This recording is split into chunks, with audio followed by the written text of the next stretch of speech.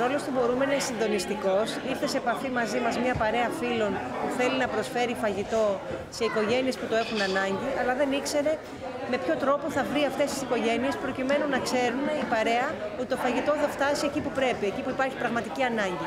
Ήρθαν λοιπόν σε επαφή με τον Μπορούμε και εμείς στη συνέχεια δικτυώσαμε την παρέα με ένα συσίτιο στον Ταύρο, με οικογένειες στον Ταύρο που έχουν ανάγκη φαγητού.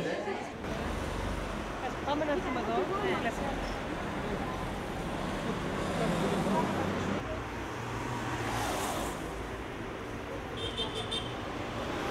Έχω μια οικογένεια με τέσσερα παιδιά και προκειμένου να κάθομαι να με ψημυρώ στο σπίτι και να με πιάνει η μελαγχολία που πολλοί έχουν φτάσει να αυτοκτονούν, εγώ βρήκα έξοδο σε αυτόν τον εθελοντισμό που γεμίζει την ψυχή μου και γεμίζει και ταΐζει και πάρα πολύ κόσμο.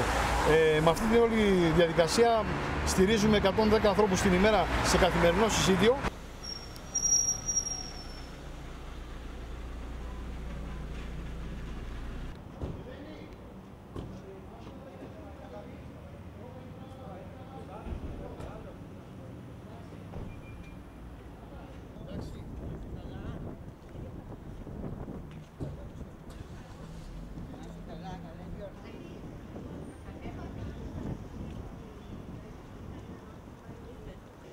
Μοσχάρι κοκκινιστό με λαχανικά.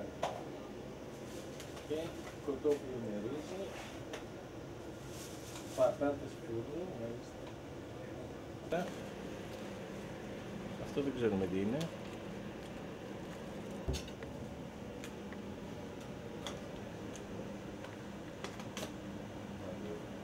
Περισσότερα νιώθω πολύ περισσότερα όταν δίνω.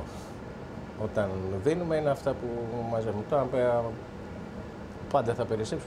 Πόσο θα φάσει, πόσο θα πεις, είναι η χαρά ότι δίνεις. Πολλές φορές τρέχουμε και τα πηγαίνουμε στην άλλη άκρη του κόσμου για να δώσουμε σε οικογένειες που έχουν ανάγκη.